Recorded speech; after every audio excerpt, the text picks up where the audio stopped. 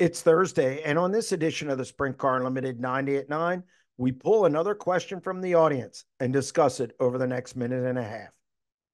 Before I dive in, I wanted to clear up something from Monday's 90 at 9, in which I talked about standards at sprint car racing's highest level.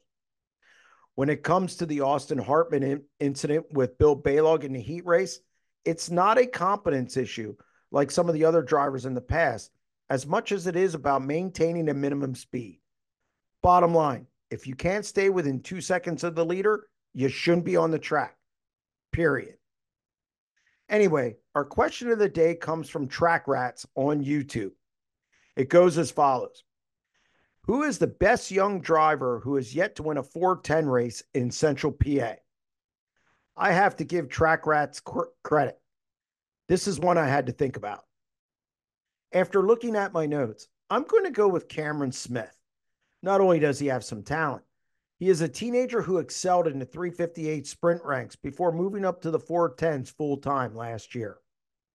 Smith showed some speed in 2023, racking up five top fives and 19 top tens in 60 starts behind the wheel of the John Trone entry. His best finish came at Lincoln Speedway when he placed second, but his best chance at a win came in an August 18th twin bill at Williams Grove Speedway, in which he led both main events before finishing fourth and seventh. Now Smith has moved over to the Rick Lefevre owned number 75 for this season. The Coatesville driver is yet to compete for a win, but he has managed three top 10 finishes in six starts. I have a 100 race rule when it comes to assessing 410 sprint car drivers. You don't need to be the finished product but you do need to show progress. Smith's run 76 races in a 410 dating back to 2022.